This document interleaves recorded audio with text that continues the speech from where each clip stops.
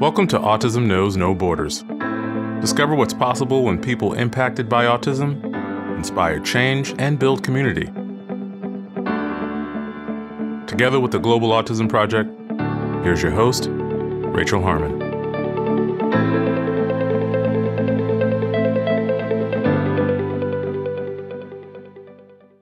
Hello, everyone.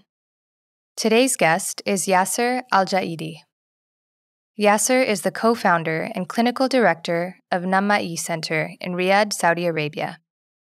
The staff at Namaee provide behavioral therapy services to early learners in their community. The Global Autism Project partnered with Namaee in 2018, and we have since sent two SkillCorps volunteer teams to provide sustainable hands on training. In today's conversation, Yaser explains how autism is understood in Saudi Arabia and what services are available to families from diagnosis to adulthood. As the first registered behavior technician to become certified in his country, Yaser shares how he began working with the autistic population and why he created the Give Me a Voice program to target communication skills. He describes the challenges he has faced over the years and offers advice to other practitioners who may be thinking of starting their own centers. Like many of our partner sites around the world, Namaee was forced to shut down at the beginning of the COVID 19 pandemic. Yaser explains how his staff and the families transitioned to telehealth services and reflects on what he's learned about leadership during this time. We discuss Namaee's partnership with the Global Autism Project, his main takeaways from our 2019 Global Summit, and why he admires SkillCorps volunteers. In this episode, discover what's possible when every child is given a voice. For more information about Yaser and Namaee Center, please visit our show notes at autismknowsnoborders.com. And now I present you Yaser Aljaaidi. Hi, Yaser. Welcome to Autism Knows No Borders. Thank you for being here today. Thank you so much for having me, Rachel. Could you please briefly introduce yourself? Okay. My name is Yaser Aljaaidi. I am the co founder and clinical director for Namaee Center in Riyadh, Saudi Arabia. Let's start with an understanding of how autism is viewed in Saudi Arabia. Okay. I think that autism is kind of new disorder that we started hearing about it like for the last 10 or 15 years ago. So it's kind of new disorder, but I honestly can say that there is a very good amount of awareness and acceptance of autism in Saudi Arabia. I know in some parts of the world it could be like bad spirits or something like that. But in Saudi Arabia, the common understanding of autism is a neurological disorder there is no stigma about it. You could face some difficulties if you have a child with autism, but there is some kind of good resources. We hope that these resources will be, or resources will be much more than this, but maybe in the future, in the near future, we will start seeing that. Mm-hmm. So, what kind of services are available for families from the point of diagnosis until adulthood? So from the beginning, when the family starts feeling or noticing that there is something different about their child, they will start seeking diagnosis.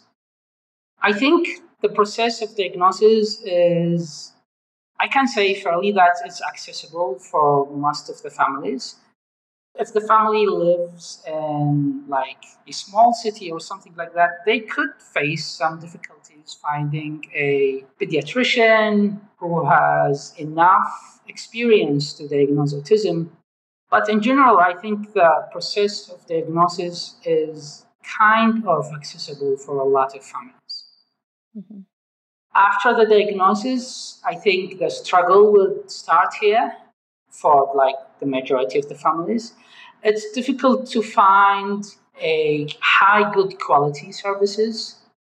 In general, here in Saudi Arabia, there is daycare centers. It's like schools, so the child will go in the morning, spend five hours daily It's like school almost, but it's for kids with disabilities. Level of disabilities that you cannot include them in the mainstream schools. So it's the basic services. They have special ed teachers, they have speech language pathologists, occupational therapists. But I think due to the increased number of kids for each therapist, the kids are not getting enough hours of therapy. But in general, it's like the basic service for kids with autism for preschool age. That's covered by the government, so the families don't have to pay for that because it's covered by the government. Mm-hmm. Of course, some parents would like to get like an extra services. They will have to go and like after school sessions. You have to pay for that. So this is the place where the families struggle financially because they think that the services their child getting in the daycare centers are not enough. They're looking for more therapy or more sessions. So they have to pay for these sessions because it's like private practices and they have to pay. And the prices are like vary a lot, but in general, it could be a financial challenge for the majority of families. Mm-hmm. Yeah. And what kinds of services are available for adults? So this is a new field in Saudi Arabia.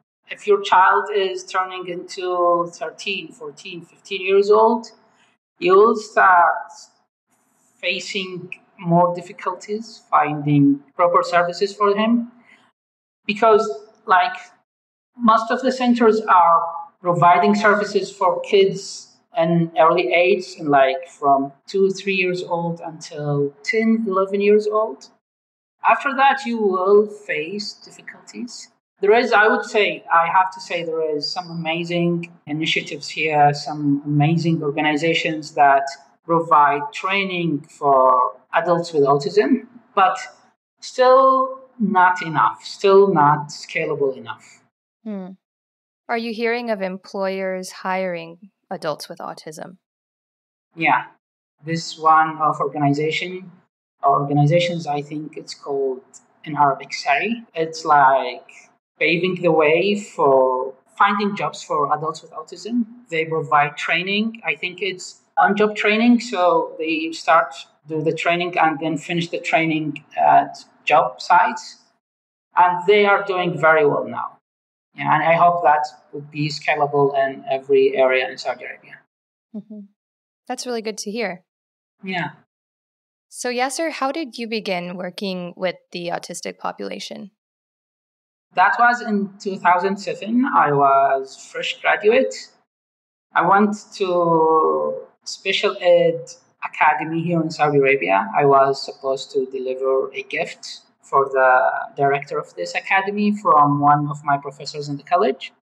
So he offered me a job. He told me, "Are you interested working with us?" I said, you know, I just graduated seven days ago, so I'm not sure if I want to start immediately. He said, okay, if you want, just give us a call. A few days later, I thought I'm interested, so I called them and I start working with them. I work as a psychologist, so I was supposed to treat kids with severe behaviors like self injurious behavior or aggression. I would say, honestly, I was not prepared at all. So it was very difficult times for me. I remember that for the first few weeks, by the end of the day, I was very exhausted, very overwhelmed. Sometimes I, I cried after the work. Mm. And I swear to God, I will resign from my work first thing tomorrow morning. But I kept going. What made you keep going? I think several things. One of them that I felt some kind of connection with these kids. I was supposed to work with kids who are difficult to handle. So, when you work with a child that other people feel it's very difficult to work with him, you will have like a unique perspective dealing with him. So other people think he's very difficult, he's very exhausting to work with. I think it's it's not something you want any child to be seen as that. Mm-hmm. So I felt that maybe I can do something for these kids so they are not considered very difficult kids anymore. I was not prepared. This is something I have to say, but I tried with the resources I have. I'm not happy about these those days from my qualification side. I was very happy to work with those kids. Whatever progress we did, I'm very grateful for them. But I'm not, I wasn't happy about that time because I think that I didn't have enough qualifications or enough resources or enough training or enough supervision to do what really these kids need and deserve. So that was the beginning. Mm-hmm. After like a year and a half, I decided that I cannot do that anymore. I don't have resources, no, like, I don't have supervision, so I quit and I joined. I joined a private psychiatric clinic and I wanted to work. I, I love working with kids, but after this experience, I thought I don't have qualifications. So it could be working with adults easier, but based on my experience, I was getting a lot of referrals for kids. Few of them were autistic, so here we are again. Again, I'm working with these kids, this time not in school setting, this time in clinic setting, which is different from several areas. It's more difficult from some areas. I was not happy because I thought I don't have what these kids need. Actually, some parents were very happy. They said, We have witnessed a lot of progression. We want to continue. I was telling them, We can make much more progress than that if I have enough training or qualifications or resources. But they were saying, That's okay. We are happy with this level. Just please, let's keep working. Then I decided that I need to do something about that. And that was the beginning of looking for ABA field or ABA practices and what later led me to found Namaee Center. Hmm. And you were the first registered behavior technician, the first RBT in all of Saudi Arabia. Yeah. I was very lucky to have Dr. Susan Einslinger. She's from US and she was working in Jeddah Institute for Speech and Hearing. It's a very pioneering center. It's a very great center in Jeddah, not in Riyadh. So when I started looking for people who have enough experience in ABA, I only found Dr. Susan Einslinger in Saudi Arabia in Jeddah. So I contacted her for like a lot of contact. I did a lot of contact for her. She was very generous, tried to help me as possible as she can. Then, after a lot of pressure, she invited me to do some observation in Jeddah Institute for Speech and Hearing. They were very generous. They were very welcoming. I went and I observed for like a full day. It was very fascinating I loved what I saw, and that's when I decided that I will get some training in ABA. So yeah, with Dr. Susan Einslinger, she started the, as far as I know, she started the first RBT training in Saudi Arabia. I was in that group. She was very kind to remember me and invite me for the training. I attended the training. I when I finished the training and the competency assessment, I applied for the RBT certification, and yes, I was the first RBT in Saudi Arabia. I don't think it's something I should be proud of, but it's it's something that I love to remember because uh, very lovely people involved in that. Mm-hmm. Well, I think it is something to be proud of, Yaser, because now with this knowledge, you're able to train other people. So you're a pioneer in the field in Saudi. Okay. Maybe you can say that. yeah, that's okay. How many RBTs are there now? I didn't check like soon, but I think we're now more than 20, 20 or 30 RBTs okay. in Saudi yeah. Arabia. It's growing. Yeah. That's great. Yeah, absolutely. Tell us about your journey starting Namaee Center. Okay. So when I was in the clinic, I started seeing the number of autistic kids I was seeing start increasing. So the clinic setting was not my optimum setting. I didn't have the freedom or flexibility to create the setting that I think it what these kids needs or need and deserve. So I decided that I will create something that would be flexible enough to modify and adjust based on these kids' needs. So we started a small space called, and we called it Namaee, which is in Arabic mean developmental. It went through different phases. And like I'm very happy and proud and grateful for all these phases. We witnessed a lot of difficulties, but we are now in a much more better place. At the beginning, I started working with one kid and home-based therapy for like three months. Then we moved. We came to a school and told them, okay, uh, it's actually kindergarten. We told them, you guys finish at like 12 1 p.m. So the rest of the day is waste. How about if we work in your kindergarten from let's say 1:30 p.m. until 7:30 p.m. and we'll pay you rent. So and all of the materials are there. Yeah. The classrooms are set up for you. Yeah. Yeah.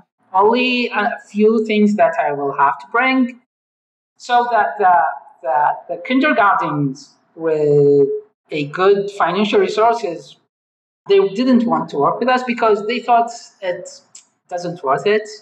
So I went for kindergarten that I think they will use the money. And they said, okay, you can use the school. We started there. We start working after the kindergarten finish. As you said, we don't have to prepare the classrooms, everything is there, almost everything. We just have to bring few things that our kids will, will need. So, yeah, we spent few, I think, three years in that setting, moving from one kindergarten to another kindergarten until we ended up here in this, like, it's now a clinic. It's official clinic now we are working at. Mm-hmm. And how many students do you have now? between 25 to 30 kids.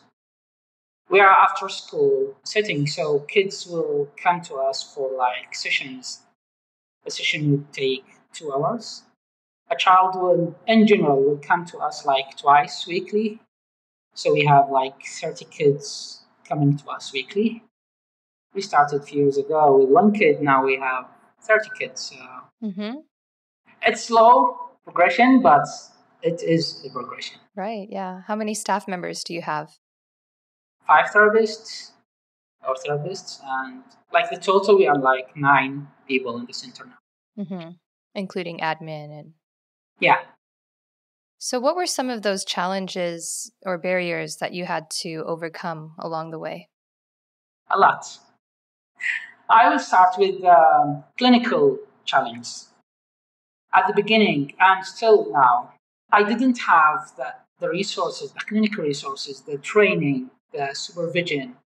I had to, to fight, to be in touch with someone in the US to supervise me. I was not doing my RBT. I started doing my BCABA at that time. So I found someone to supervise me at that time, it was very difficult for the supervisor who was not fully aware of my situation to help me address my challenge and my kids' challenge like very effectively. It helped, but it was not enough for me. I always wanted more. Finding people and train them was some kind a challenge. I might be a a perfectionist, so it makes it kind of makes working with me difficult. Do you think you're too demanding? yeah, unfortunately, yeah. You want to do something that you think is good enough for the kid. So defining good enough for the kid is different from a person to another. My good enough criteria is kind of high, which makes it difficult for me and people who works with me to work with that kid because we I always wanted more for the kids. So that means I will keep demanding going up. Mm-hmm. There was the financial challenge, the, the money. It was difficult. When we started this, we didn't have money actually. I remember like borrowing money from a friend to pay for the kindergarten. The kindergarten want us to pay like for six months in advance, like this is the minimum. But I told them I cannot pay more than one month. So yeah, we didn't have money at all. And when you started something like that, you have to spend, I would say, lots of money. We didn't have like any money at all. All we have our own money. We used it wisely because we didn't have a lot. So yeah, the money was continuous challenge. It's still until now, but it, we are like a much more controlling position now regarding money we still have difficulties, but we're in a much more better place now. Mm-hmm. Whereas also, I would say that the, the license process for clinics and all these bureaucratic procedures, but once we overcome that, we don't have to worry about them anymore. Mm-hmm. So, Yaser, you started a program called Give Me a Voice. Tell us about that. Okay, so when when I realized that there is a lack of resources for families to help their kids, I wanted something that I can offer for nonprofit organizations, for social responsibilities, for corporates. I tried several things with these organizations. I think it's like very normal, but they didn't prefer to pay for something forever.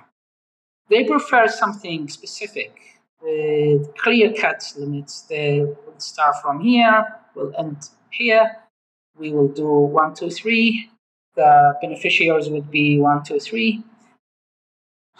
So, also with my work, we start realizing and seeing the results of the verbal behavior approach, how the child life and the family life will change when the child starts expressing his needs. So, mand training and enabling the child to express his need as a human being was very important for me. So, the result of all these things that we decide to create a specific program that will target the ability to talk or to express the needs of the child. And we made it like three months in total, 72 hours. And I start going to these organizations and big corporates. We were very lucky to meet a very wonderful guy. His name is Dr. Fahad Al Aliyan. He is a like the social responsibility officer in a bank here in Saudi Arabia called Bank Al Jazeera. And he believed in this program and he supported us with, for 10 kids. And that's where we started Give Me a Voice.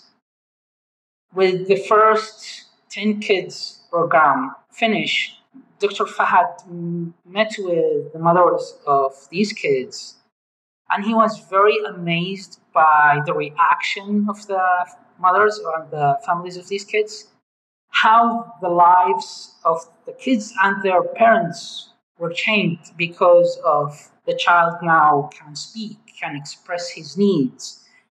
He's no longer in need to cry, to hit himself, to throw himself on the ground, because now he has a very reliable tool to communicate his needs, his thoughts, his emotions. And that was a life changer for these kids and their families. So the next step that Dr. Fahad took was to decided to continue to help us with these kids. We started increase the number of sponsors of the program. Now we have a contract with a nonprofit organization to train 100 child on the Give Me a Voice program. So, wow. What starts with a small idea, it's now a huge opportunity for like we could reach hundreds of kids in the near, near future. So that could be a very good idea for other practitioners around the world.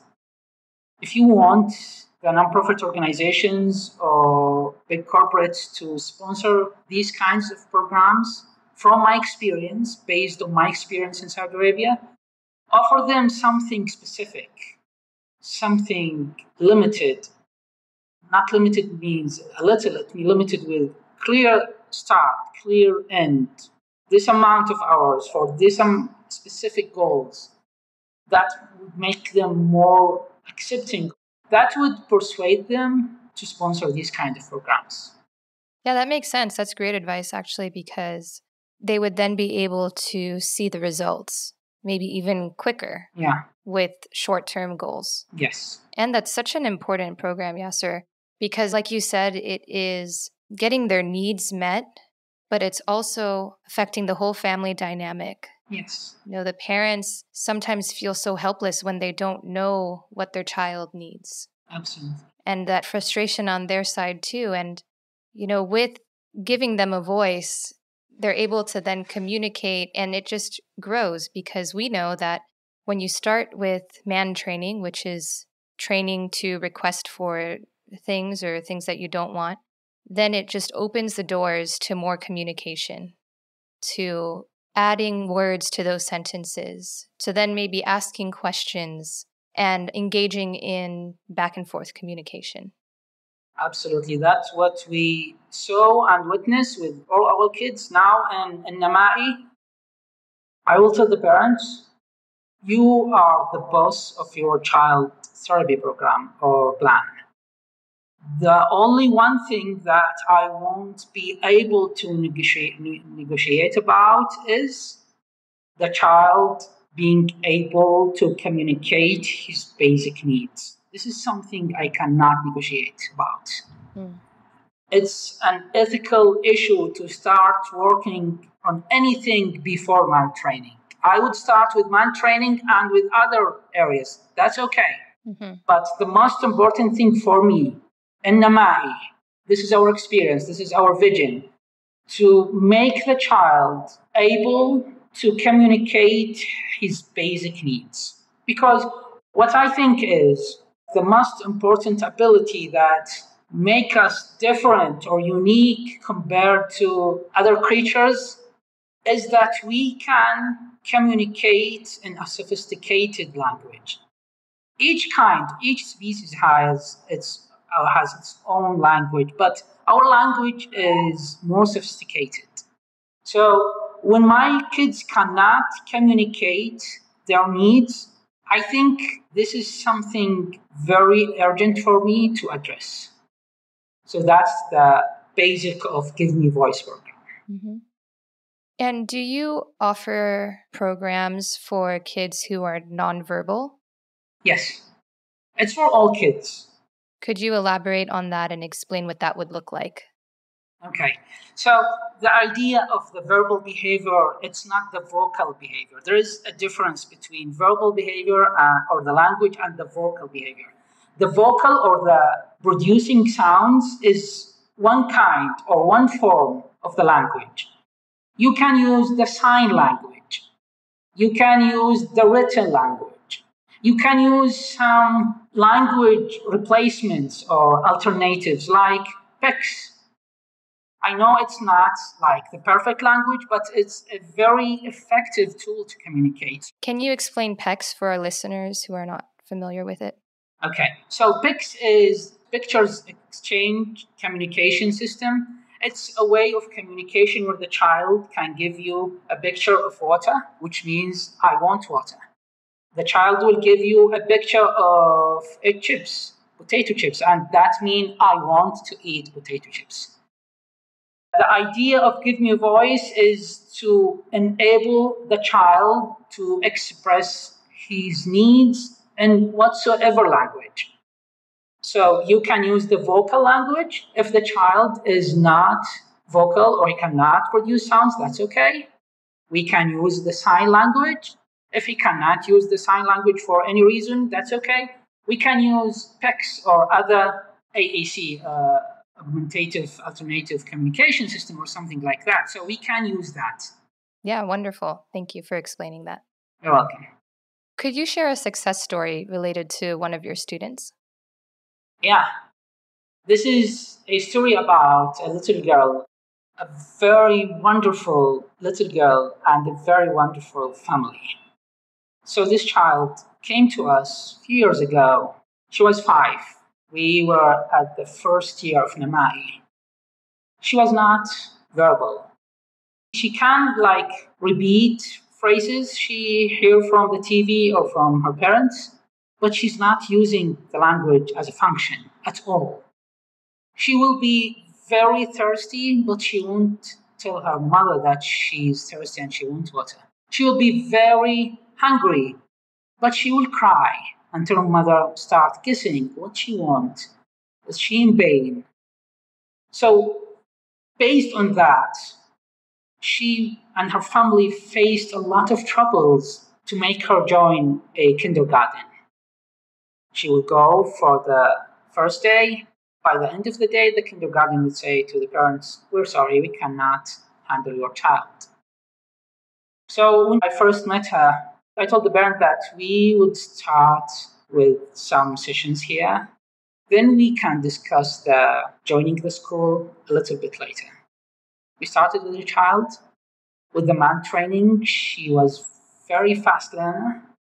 In few weeks or few days, she starts manding verbally in a sentence of three words. She has the full ability to speak, but she was not using it as a function she starts like burning her goals in the plan. Whatever plan we have, whatever goals we have in the plan, she will finish them very soon. And three months, we decided with the parents that we will make her join the new school year. So I contact the principal of the kinder- kindergarten we are using right now, or that time. So I told her, I have a child. She's five years old. She's very smart and she has autism. And I want her to start working with you. We are ready to send a therapist with her. And in case you thought that, oh, we cannot handle her. So we will send a therapist to make her like succeed in the first few days. They said there is no need, just let her start. So it's the first day in the school year. So by the end of the day, the, the principal of the school called me and she said, We're sorry, we cannot have the child anymore. I said, Why? She said, She spent the day crying, the whole day. So I told her, This is the first day in the school year, and this is kindergarten. Is it not usual to see kids crying the whole day? Mm-hmm. Or just because I told you my girl has autism? She said, You are sorry. We just cannot have her anymore. I said, That's okay. I remember I told her this. I told her my child would be in a very, much more better position that you thought she cannot be in. If you think she cannot belong to the classroom with the other kids, I think she will be in a better place because I knew that this child has a lot of potentials. So we stopped going to that school. The parents were kind of devastated. They thought that maybe our child is not meant to be in school. Mm. They were very brave and fighters, the, the parents of this child. But it's very difficult for them to to feel that their child is excluded from the school. Mm-hmm. So we continued the sessions and we started with another school. They have like a, we, we call it here inclusion classrooms. Mm-hmm. So they will have like classroom or classrooms for typically developed kids, and they will have one or two or more classrooms for kids with special needs. So she started the first year in school. The year was very good. The teacher loved her. She was the top of her class. We were very happy because of that. It's still including classroom. The kids with her like were below her level in performance, but that was okay for us. This is a very huge step. So the, the first school year finished. At the beginning of the second school year, I called um, like the principal of the school and I told her maybe we are ready to move to a regular classroom. We will like be in, in a trial experiment, see if you decide if she's okay to continue in the regular classroom, then that's what we want. If not, we are ready to go back to the inclusion classroom. She said, no. Yeah, she's the best child in her class, but no. Mm. I told her we will send a therapist with her if that's needed. She said, no, we cannot. Just she's only in the. We register her in our school only in the inclusion classroom. So we have a discussion with the parents and we decided that that's okay. We will finish this school year. It's like the second grade. We will finish the second grade in this school.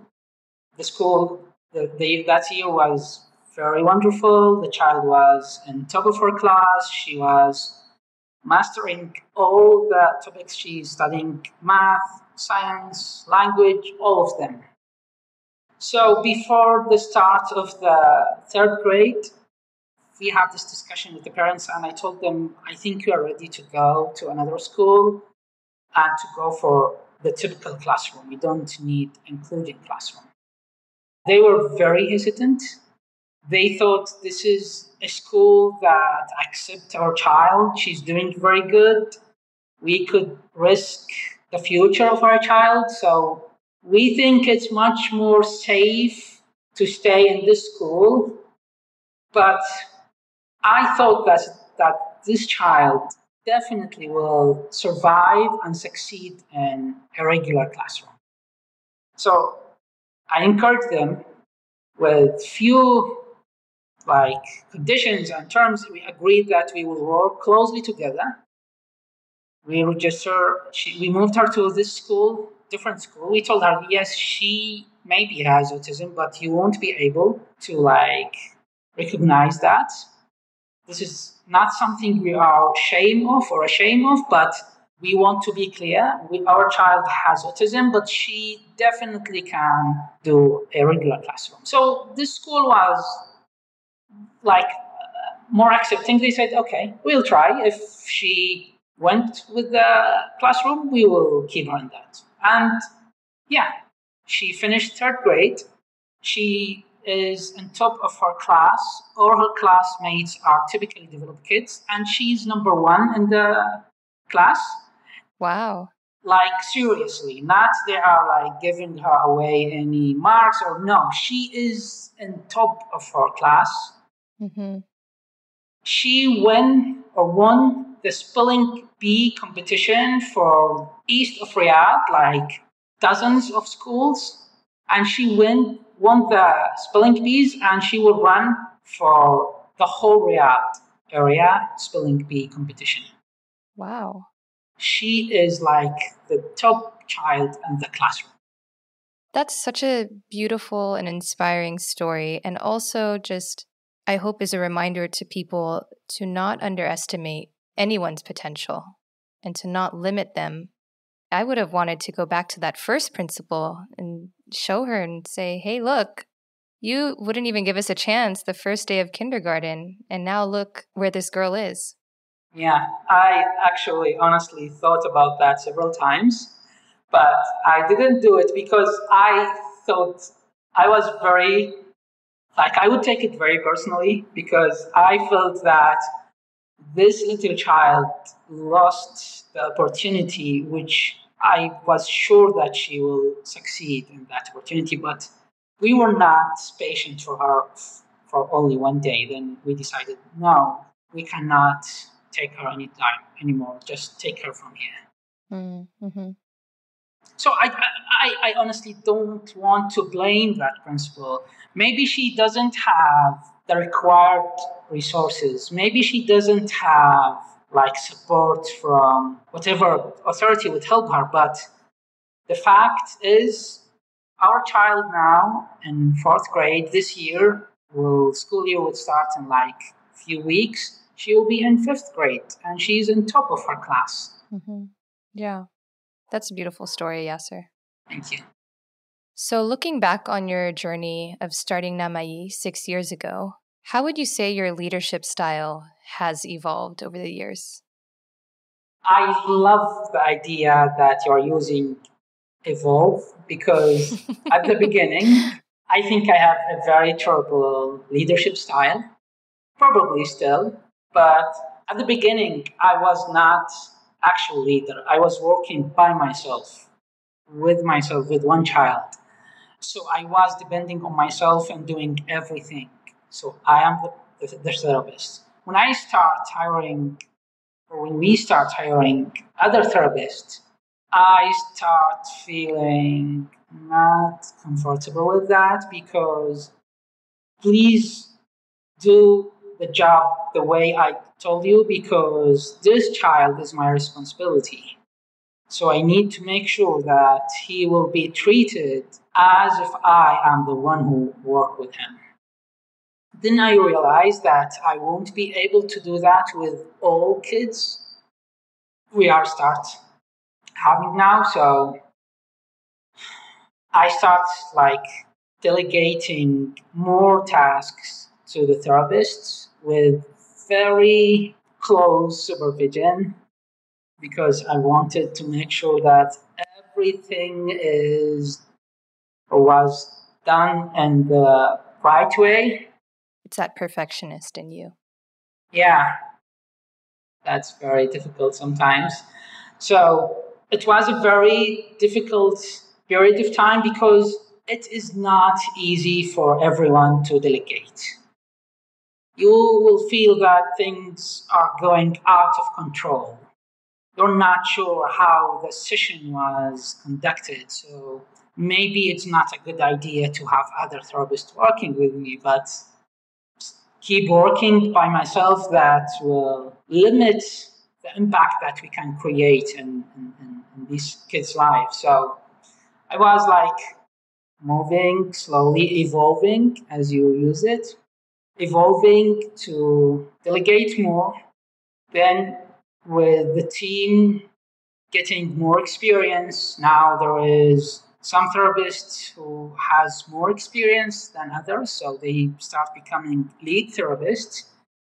Then I have to move a little bit back and start supervising the whole process. Because if I keep doing the tiny things, I won't be able to see the whole picture mm-hmm. or the big picture, which means I will or the center or the organization would lose a lot of things. We did that actually for like maybe a long time, but we evolved through that. I have to go back a little bit, keep watching the big picture, making sure that the daily work or processes or procedures are going smoothly. So maybe I'm in the first stage of leadership evolving. Maybe I still need few stages, but I think that I am still some kind of turbo leader. So I'm very sorry for all therapists who work with me. I'm very sorry. Maybe you will like find peace someday. Hold on, Yaser. Wait, wait, stop right there. Because I'd like to add that I have seen you in action as a supervisor, providing training and giving feedback to your therapists, to your staff.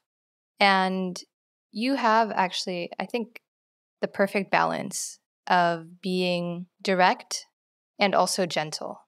And I've seen them and how they interact with you. They respect you because you're real with them. And also, you always add this twist of humor. So even when it's really important to you, you're able to kind of package it in a way that is easy for them to accept it and then start applying it. And I also love that you incorporate the Socratic approach to your supervision because it fosters that critical thinking in your staff and you're shaping them to be excellent therapists to make decisions on their own. So I just wanted to say that because I know you will not say that about yourself. And I want people to know how strong of a leader you actually are. Thank you. Maybe you should ask my therapist, but maybe later. I think they will agree with me. I hope so. so, Yaser, how has the COVID 19 pandemic affected your center? Did you have to shut down at some point? Yeah, we had to shut down for like almost three months. Mm-hmm. So at the beginning of the pandemic, we were worried because we, as the whole world, didn't know what will happen next. It was rapidly evolving. So, with the evolving situation, we thought that maybe we can go for a few weeks to see how's that going to be. Then we, with the daily, weekly, sometimes daily reassessment, we decided that we should stop now until we see how things will go. And the day we decided that we will stop, the, the next day, immediately, the government decided to close all the schools and clinics and probably the whole economy at the beginning. They make it like a partial curfew. The businesses are supposed to stop, only the vital businesses are supposed to continue. So yeah, we was forced to shut down for like three months. We decided at the beginning, when we decided we will shut down, we decided to ask our families and our parents if they want us to continue supporting them through online. And that was like a new experience for us. We asked them, like the majority of them, they said, yes, we would like that you continue supporting us through online. So it was like weekly sessions with each family. It was free of charge because we were not we were not doing like a full services. It was it was like supportive uh, sessions, and I can say that some of the kids, the kids and the families, were very okay with the shutdown at the beginning because depending on the family, some of the families can maintain or could maintain the amount of therapy that their, their child used to have. But some of them, they couldn't do it. It was very difficult for them. We kept supporting them through online sessions. In general, we kept the online sessions for a month or two. Then we have our annual month off. We continue the online services for like a few weeks then the government decided they now can open the economy again. We are allowed to work again. Okay. So we are now back to uh, like on-site sessions. Mm-hmm. That's good. So, what's the current situation in Saudi Arabia as far as COVID cases? It's very good. Honestly, the government could control the pandemic in a very good way after the curfew, the government decided to open the economy gradually. Now it's like fully open. We keep the precaution procedures. We work or function like we have all our sessions on. Mm, we use all the procedures that help us to make sure that our kids are safe. Mm-hmm. Great. So, during our partner call last week, with all the partners. Molly, our CEO, asked a question that I really like, so I'm going to repeat it now. Okay. Fill in the blank. If it weren't for COVID, I wouldn't have blank. And again, this is not discounting the deaths and suffering that is going on, but think about it like what are you grateful for because of COVID? The time we, we spent in the curfew it was a very important time for me because it was the first time that I stopped working in Namaee for the last six years. So I was home thinking of Namaee. There is no sessions now. There is no kids coming now. So I start reflecting on Namaee. And I'm very grateful for that pause because I realized that I never thought of Namaee as a business, as something need to be sustainable, need to be maintained. I always thought of Namaee as something I enjoy doing, something that I feel passionate about. It's something that I want to keep doing forever. But that's not enough to sustain an organization because these kinds of organizations shouldn't be depending on one person.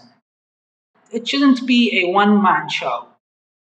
The lives and the good services shouldn't be rely on one or two or three person. We should make or create an organization that can continue working, survive, sustain, no, no matter or it's, it's not important who's working in Namaee.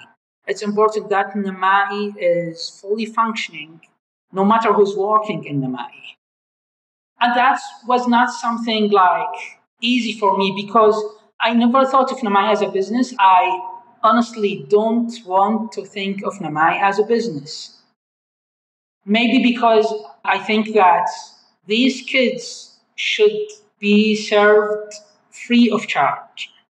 Mm. These kids do deserve to have the full services they need without considering their financial ability.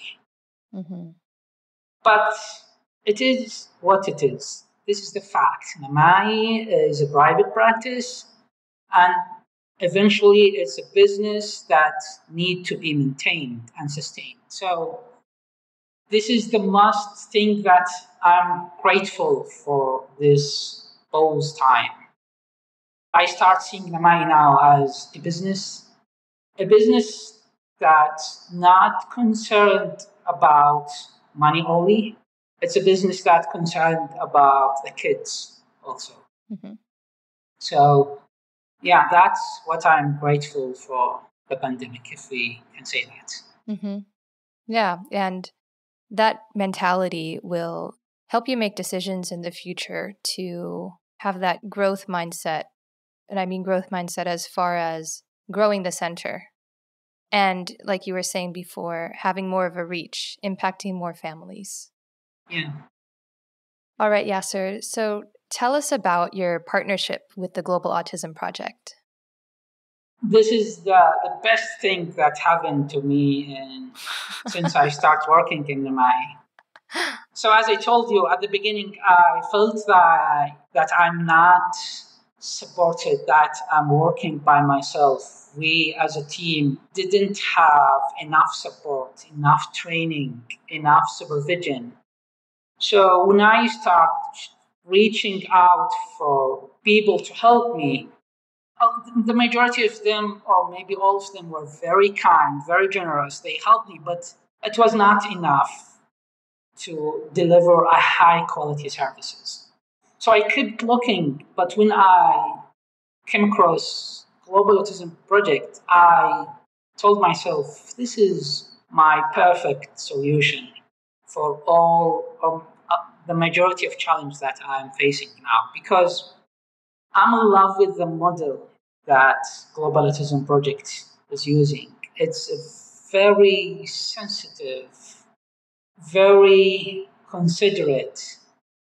They will work with you from where you are. You doesn't have you don't have to be in this level of quality or services. They will work with you wherever you are. They will help you grow and evolve. I started reaching out for Global Autism Project in 2016 for different circumstances that took a little bit longer. In 2018, in August, and almost these days in 2018, I met Cassie, the outreach director and Global Autism Project. Mm-hmm. My dear friend Cassie. she came with Shumaila Jeffrey to assist Namaee and see if we can like have a partnership. And from that day, Namaee was different forever. Since that day, we started to have a very solid, sensitive supervision that will address the challenge we have based on our culture, our challenge, our experiences. So I honestly think that if it wasn't for Global Autism Project to be partner with us, I don't think that we will continue working because they changed the, the way we work. They changed the way we help our kids. They changed the way we look to our work. So I'm a very big fan of Global Autism Project and the whole team. Thank you, Yaser. You're welcome. So, you attended Global Summit last August in Bali. What was it like for you to spend that week with all of the partners? It's a life changing experience. Like, literally, it's a life changing experience. It's not common to meet with different people from all over the world. People who are like you, who are in almost same position or same place where you are. People from all over the world, they have centers, they struggle with the money, they struggle with the clinical work, they struggle with the resources. You feel that you're not alone. You feel that this is some kind of same path with few differences. You learn from them. You recognize that challenge you have and their challenge. So I probably won't be able to describe how I felt when I met these people. And the content of the Global Summit was amazingly prepared. I would say that I've never attended any kind of gathering, any kind, that I got all these enlightening ideas. They were not lecturing us about how to do this, what to do with this problem, how to address this. No. It was about the way you think, the way you see your work, the way you see the challenge, the way you see other people in this equation. So I was only upset because I couldn't attend all the workshops and uh, the seminars because I couldn't be in all the places at the same time. But it was something that I will remember for the rest of my life. What was your biggest takeaway from that experience? Several takeaways. The way I think about myself working in Namaee. That was one of the biggest things that I became see it in a different way. I used to look at myself or look at Namaee as something that I love to do and I will keep doing at the same way. But with the global summit, I realized that a lot of challenges or struggles or working on Namaee, it's actually my own personal challenge and struggles it's some kind of reflection of my own personal struggles. So when you realize that, you realize that maybe if you overcome your own personal struggles, this struggle in the Ma'i will be able to overcome it. Maybe if you use someone, hire someone who hopefully doesn't have the same personal struggle you have, will be able to overcome that struggle. So the mindset that I got from Global Autism Project, it's something priceless. Well, I'm glad that you were able to learn so much about yourself. And also, you've had a couple SkillCorps volunteer teams visit Namaee last year. Yeah. And unfortunately, we were getting on a good roll, but this year had to cancel all the trips. What has your experience with SkillCorps been like? I was in love with them like whole teams. They are very brave, passionate group of people. They are brave and some kind crazy enough to travel across the world just to help someone, helping some kids that they don't know me and they don't know the kids I'm working with, but they very considerate and concerned to travel and help me. They they fundraise to do that. I was looking forward to meet them. I had two SkillCorps teams. Both of them were very wonderful teams. I'm very lucky. I wish that all the teams will be like the both teams that I had. I don't think there is a team that could be better than my two teams, but you know, when you have these energetic, passionate people, they came to you in a very different culture, a very different country. They have some old information about Saudi Arabia, the Saudi community, how people in Saudi Arabia. So it was like a unique experience for both of us, for me and for them. Mm-hmm. They spend a lot of time working with us in the center. They divide themselves into groups. group will work with this and this therapist on this kind of problems. Another group will work with another group of my therapists to teach them different topics and areas. Some of them will work with me for the areas that I'm supposed to oversee, like the plan, the vision for Namaee. All of them were like very lovely and kind and brave people as I told my, my therapist, these teams touched our souls. each child, each and every child we are working with now and will work with in the future, these teams has impacted us and impacted the way we work with these kids. So every single child we are working with is touched by these teams. And what part of Saudi culture do you like to share with the teams when they visit? I would say every single aspect of the Saudi that we can cover because this is a very different culture.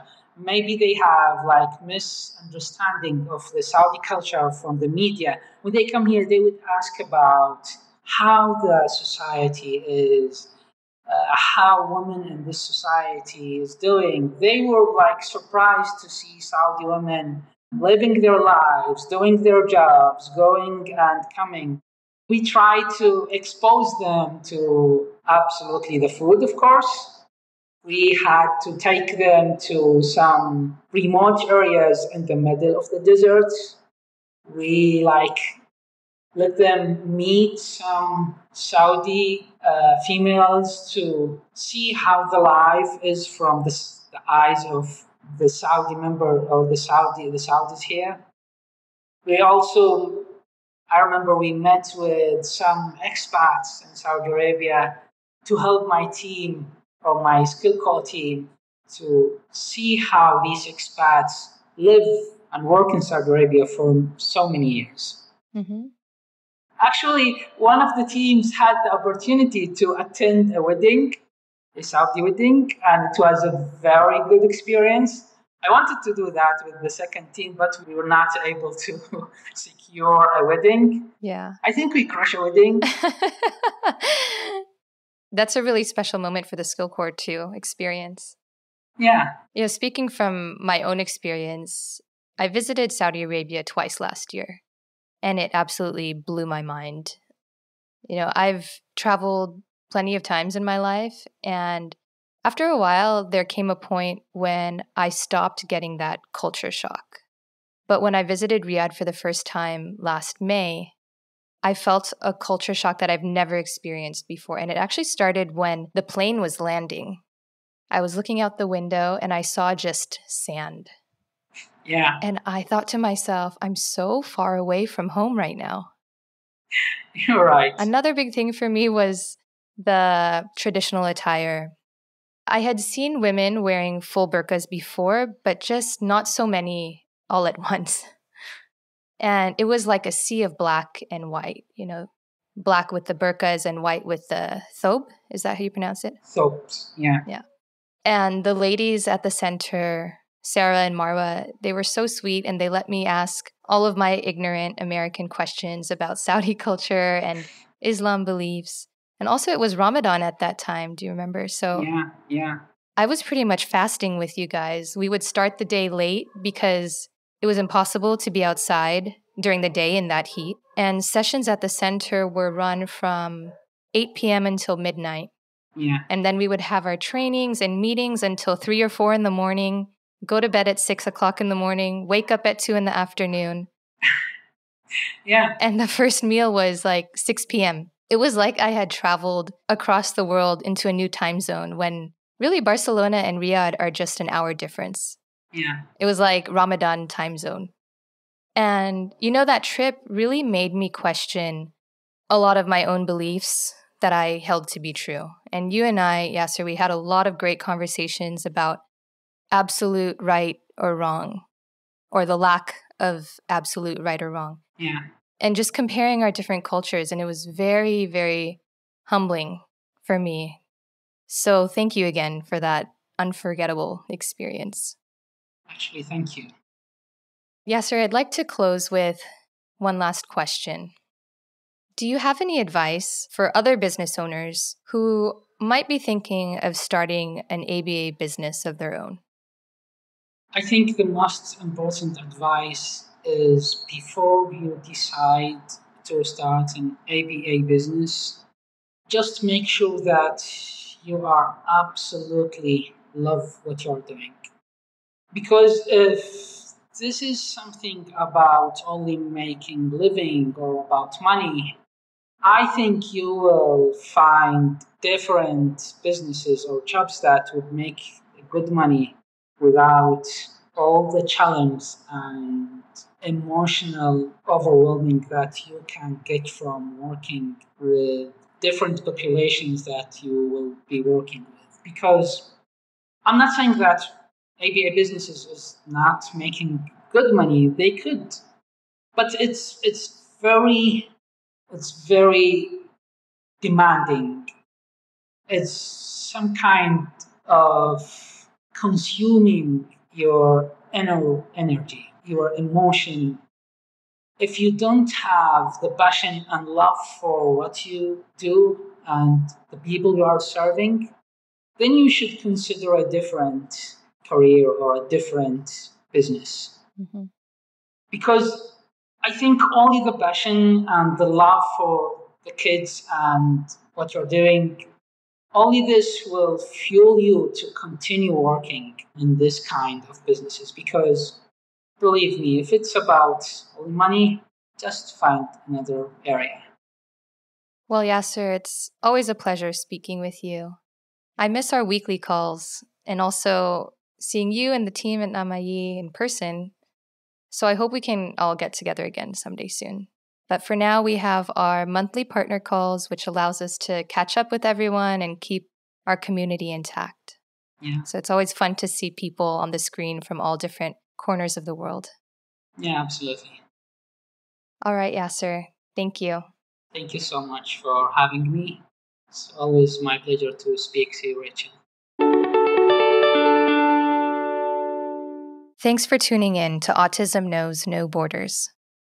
The story that Yaser shared about his student being refused attendance at school because of her autism reminded me once again that we must never underestimate anyone's potential. Unfortunately, this is far from the first time I've heard such stories. I used to work with a boy in France who was kicked out of school because they couldn't find an aide that was willing to work with him. In many countries, students with autism are effectively excluded from the education system, as schools often lack adequate resources to accommodate their needs. The work that Yaser and our partners are doing around the world is fundamental to overcoming these challenges. As autism becomes increasingly understood in their areas, communities can develop ways to support and empower families. More proper training for professionals will afford more opportunities for children with autism to thrive. By presuming competence, we can avoid setting unnecessary limits and instead build on each child's strengths. Just a reminder that we're still taking donations for our COVID 19 Partner Relief Fund. Our partners across the globe share our vision of creating a world where every person with autism can reach their potential, no matter where they live. As a result of COVID 19, most of these schools and autism centers have shifted their work to support their students remotely, with many of them volunteering their time. 100% of your donations to the Partner Relief Fund will go directly to our partners who need it most, like Yaser from Namaee. You will be supporting internet access for remote teaching, educational materials, and protective equipment you can make a difference today by joining us to create better opportunities for these children at risk. Donations can be made at globalautismproject.org. Thanks for listening. Take care. You've been watching Autism Knows No Borders. If you like this video, please give it a thumbs up and subscribe to our channel. Also, we'd love to hear from you, so let us know what you think in the comment section click here to watch another interview from our podcast. You can also find us on your favorite podcast app. Tune in each week for engaging conversations of how people across the globe are inspiring change and building community. Thanks for watching. Take care.